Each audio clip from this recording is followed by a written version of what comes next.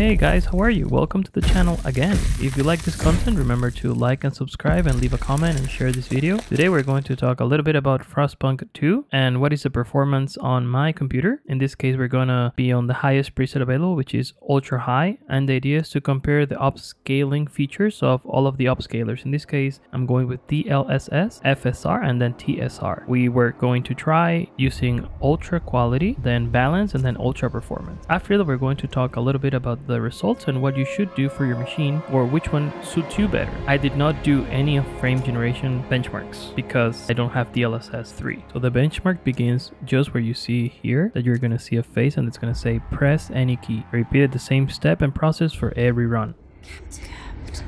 Can you hear us? Captain! Do you hear us?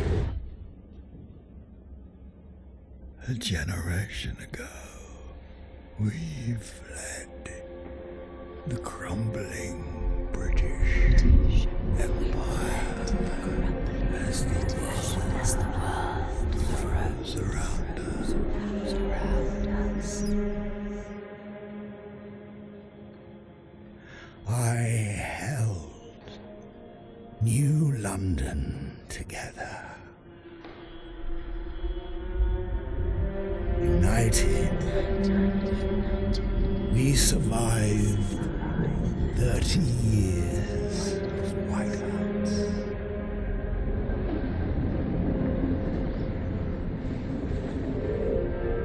But the world around us is dead. Empty. Ripe for taking.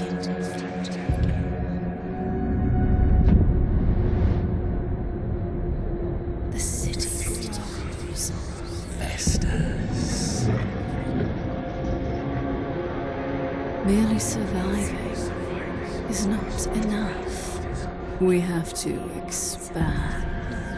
After all, it's us who survived the end of the world.